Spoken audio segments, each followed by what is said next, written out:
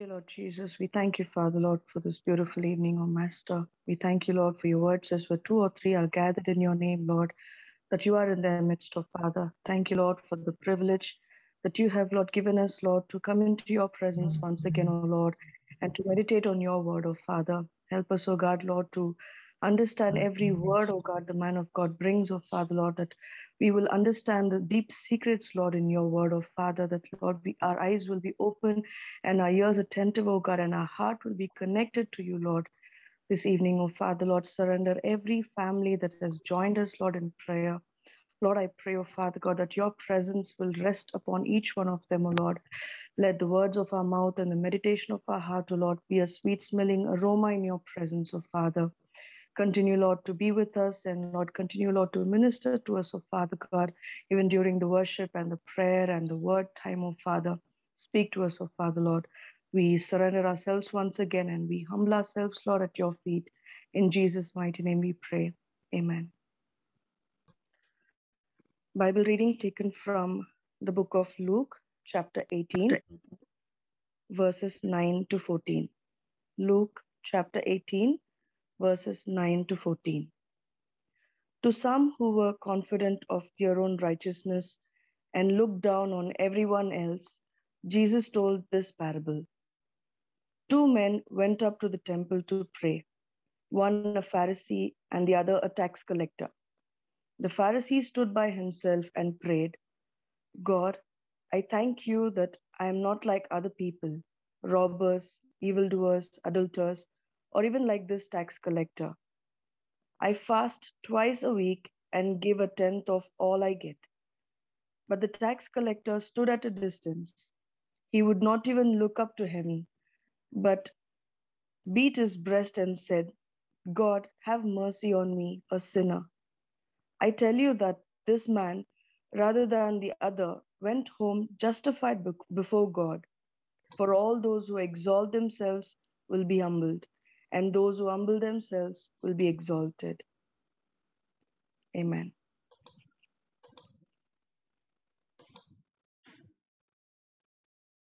Good evening. Uh, we are indeed blessed to have Sister Jaya Abraham. She lives in the city of lights, Dubai. She and her husband love people and uh, maintain an open home. So if you ever get lost in Dubai, do ask us for her address and we'll, you know, you know where to go. Uh, her dream is to love people uh, and to see the optimum potential released in each one of them. She desires that people she mentors grow tall on her shoulders. She engages with people over long terms for transformational leadership development. Indeed, blessed to have Sister Jaya Abraham minister to us this evening. The topic for t- tonight is what? That's right. It's what? Yes. Thank you. Thank you. Uh, thank you. I can see some familiar faces. Few of you have put on your videos. I can see some familiar faces. Yeah, thank you for joining in. And um, I know we are in the season of uh, Lent, as we say, waiting for the Easter and then the Pentecost and all of that. Today, I want to, be, in the next four days, I want to deal with um, the whole focus topic of what is my response to the prayers I am not responded to. I don't want to call it in the common language, it's all of us will name it as unanswered prayer. No, God is not answering a question paper that He says, okay, tick. This is a multiple choice. Yes for you, yes for you, yes for you. No, not as yet, no. I, I, what is my response to these unanswered, rather, not responded to petitions, supplications of each one of us? You know when we uh, uh, when it, it is a process of pain. Um, and i just want to tell you that uh, when answers are not received as expected when responses are not received in the time that is expected there is brokenness. And we want to be honest with it. And I want to say, tell you one good news this evening that our faith matures the longer we wait for things. You know, we live in a generation of entitlement and immediate satisfaction. There is no delayed uh, a delay in receiving anything. Instantaneously, you have everything. And I believe uh, being able to wrestle when I don't have those responses.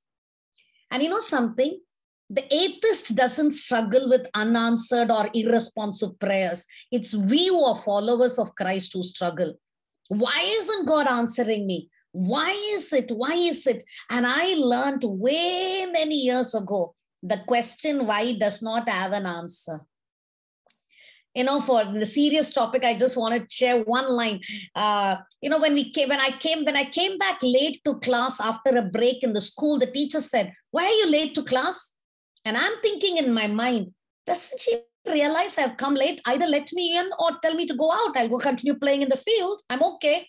The why never had a response. Yeah but we continue asking.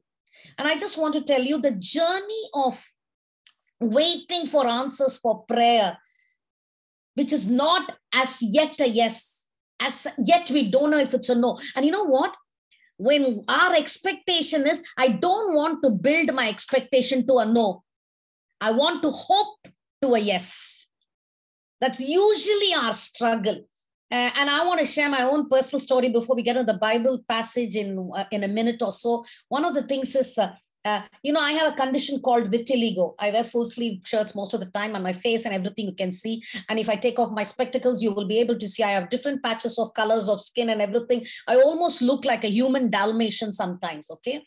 And when I got diagnosed with it, the first time I went to a doctor, and the doctor saw it and then he uh, he said every day, Jaya, for the next 30 days, take pictures of yourself. Those days were mobile with no camera, so we have to use a camera, okay, uh, which the photographers used, and we I had to take picture of myself. I refused to do that.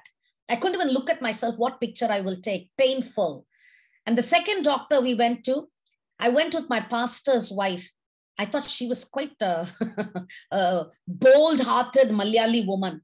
She came with me, and this man used a particular pair of glasses through which he showed her how white I have become, how my melanin is all disappeared. Seeing that, she fainted. So, who was the patient became a question.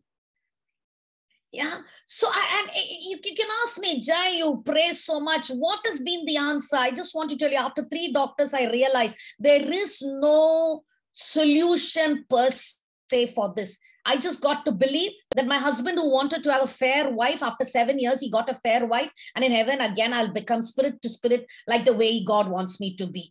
Yeah, it has been painful. Where has it been more painful? I want to tell you, don't hold it against me. I'm sure all of you experience it. It's just that probably you don't embarrassingly share it so honestly. The church could not accept it. They asked me, Are you in sin? Is there a problem? Are you holding back tithes? How can a loving God be punishing at the same time? So I read through the book of Job and I, I found out for the first time the church was facing a condition like what I was going through with a person. So they didn't even know how to handle it. And they want you to be super spiritual. Yes, everything is fine. All is very good. God is answering my prayers. I'm just fine. I have to speak the best of the spiritual language. But I was very, very, very honest. And that's the time when God spoke to me through Job as well as through Jesus. Jesus had painful times of not being responded by his father the way he wanted, which we'll deal with tomorrow. Okay. So going to today's passage, which our dear uh, Clara, Clara, I think her name is, she read from Luke chapter 18, verses 9 to 14. Here are two men, one righteous, self righteous, and one was a poor sinner one claiming his credentials before God, the other guy is saying, Lord, just have mercy. I'm a sinner. The Pharisee brings all his credibility before Jesus and says, Hey, this is me. I fast, I pray, answer me. The sinner says in humility, apart from your apart from your atonement, I can't even be justified. Forgive me. A real sinner. I have no words else to say. The Pharisee, when he was praying five times, he said, I, I, I, I, I. You can go read the passage again. Multiple versions you will know. Whereas the, uh, the tax collector says, Have compassion on me, God. Be merciful to me, a sinner. And this evening, I want to say, we come to God as uh, for to a God who will be merciful to us and will look at us as a sinner and who who's not only saved us from our sins, but who also justifies us. And every time when we come to pray, may we stand in that awe of knowing I stand righteous in his righteousness, hidden under the shadow of his wing, justified by his atonement, and sanctified every day, even if I fall to sin. That itself is a huge settling maturity for us as people who pray. And may Lent bring in that maturity for us to understand in him there is going to be that kind of a mercy, that kind of a compassion, that kind of a forgiveness, that kind of a justification. I'm going now, right now, to Matthew chapter 5, verses 3 to 5. I want to share with you how Jesus overturns the pyramid in the way he responds to us. In Matthew chapter 5, verses 3 to 5, it says, Blessed are the poor in spirit, for theirs is the kingdom of heaven. Blessed are those who mourn, for they shall be comforted.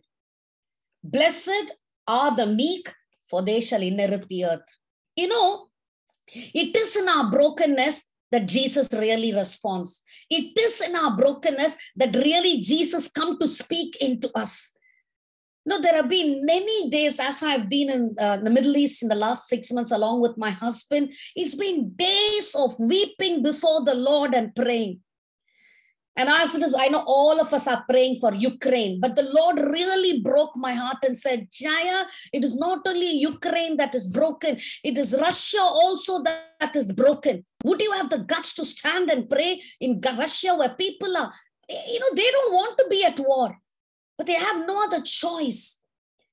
And Jesus overturns the pyramid for us to be able to pray for the enemies. And this evening, I want to end, I want to really exhort each one of you and say, would you stand in the gap and say, Lord, either you have guts like David in like in Psalm 2 and Psalm 3 and slap Putin on his face, or you withdraw and say, Lord, give me the heart to pray for both.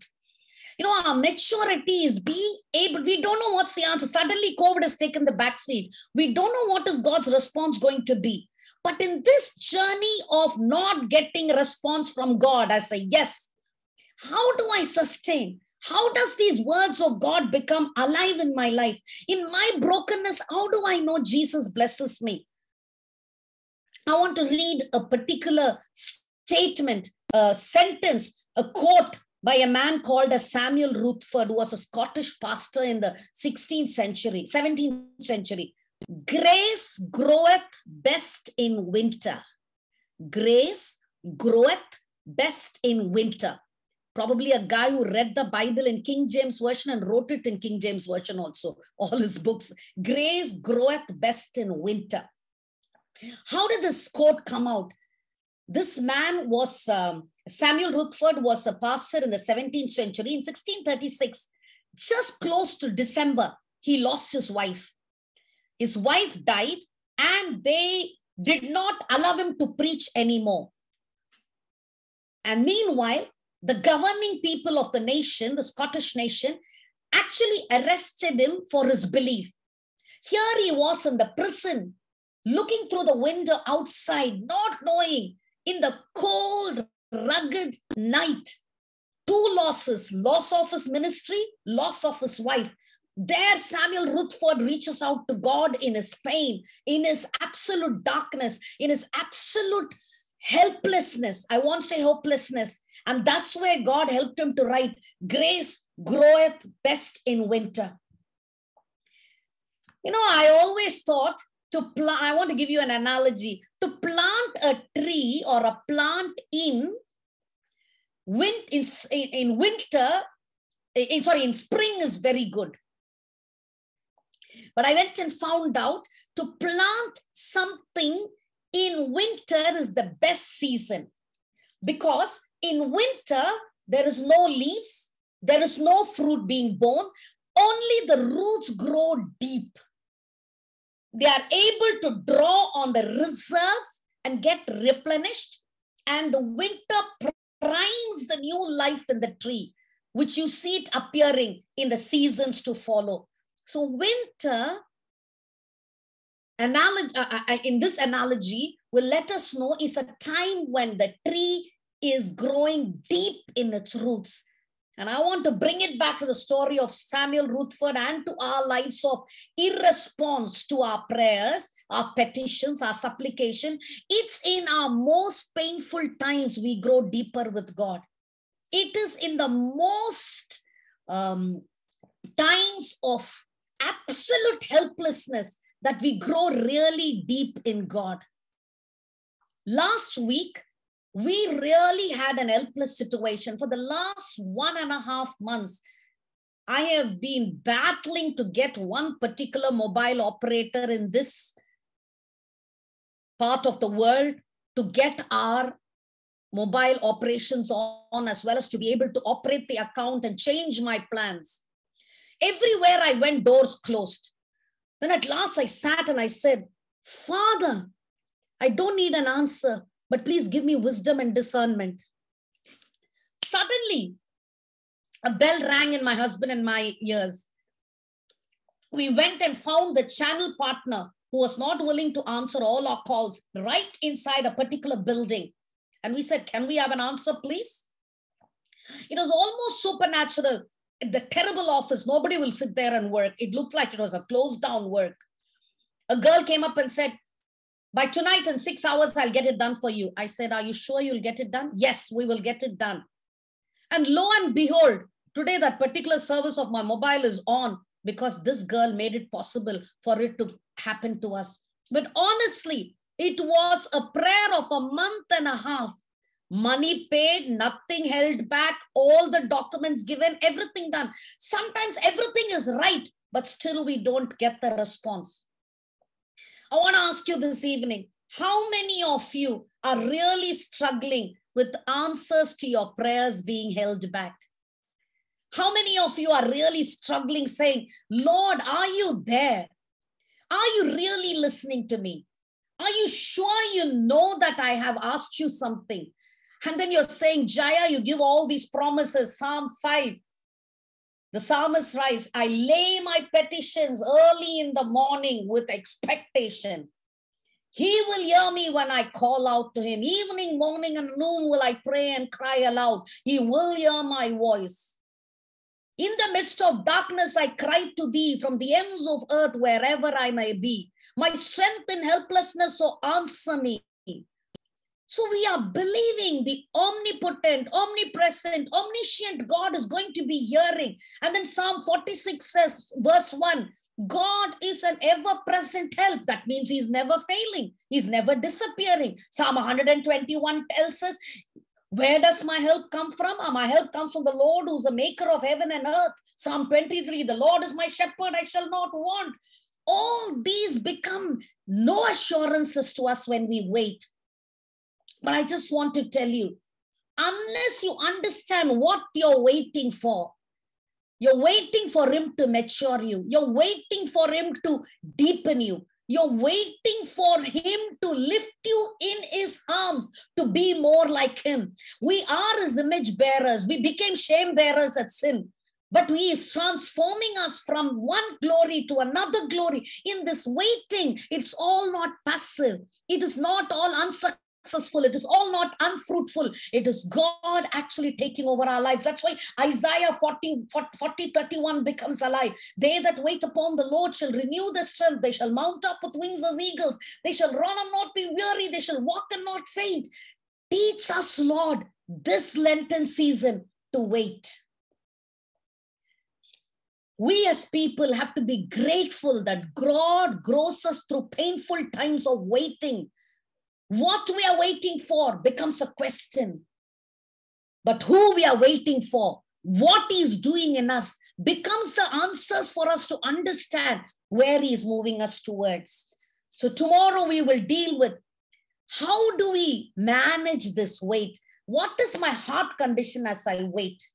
I want to close by reading the lyrics of a song before I pray.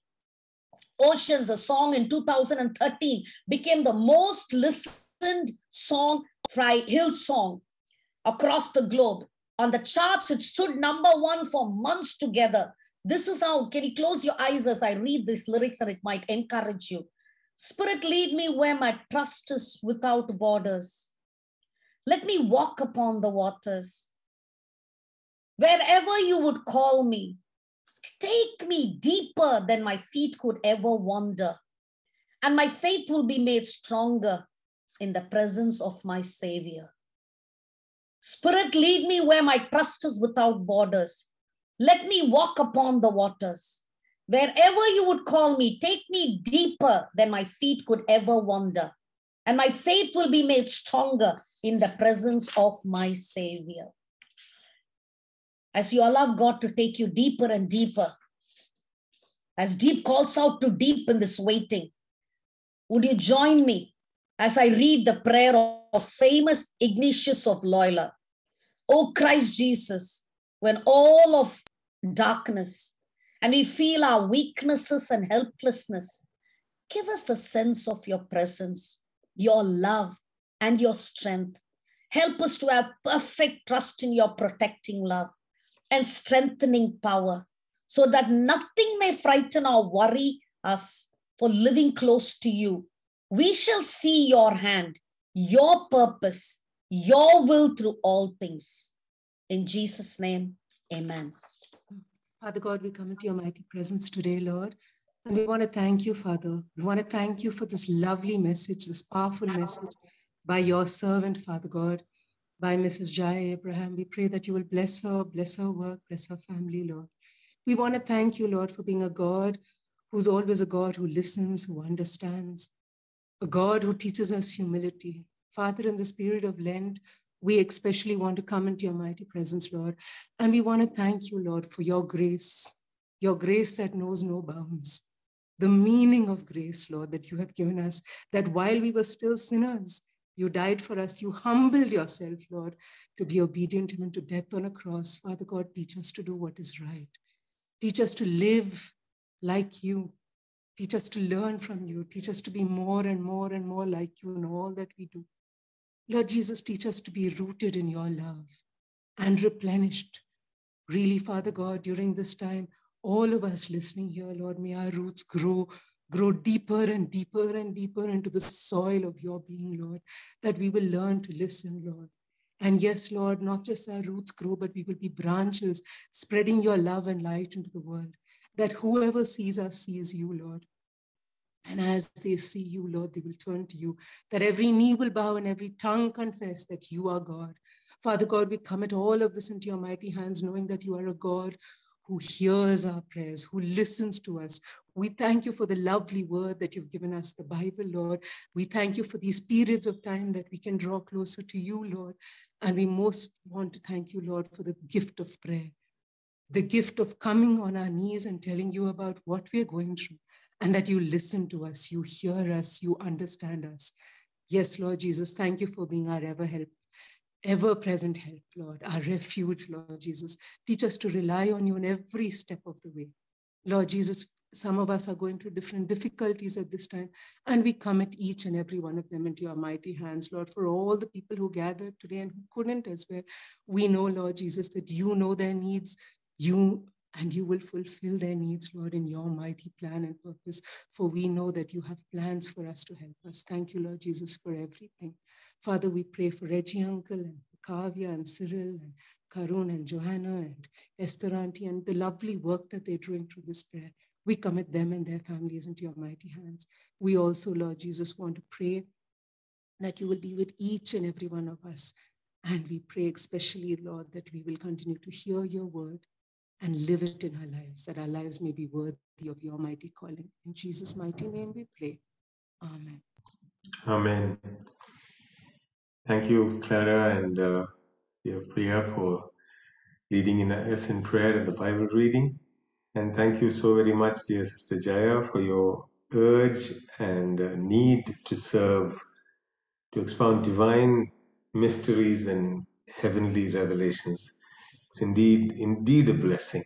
Truly was a blessing. Uh, we're indeed thankful to you for making time to be with us for the next three days also, uh, to hear the how, why, and where after the what. Thank you very much. Have a good night. May God be with all of you. Um, let's meet tomorrow at 9 o'clock again.